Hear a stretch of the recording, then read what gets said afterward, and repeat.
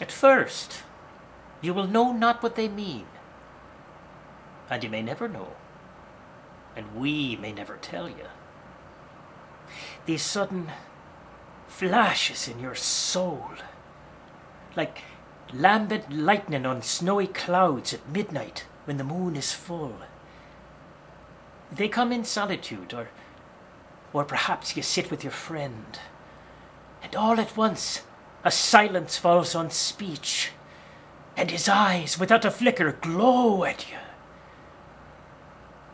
You two have seen the secret together.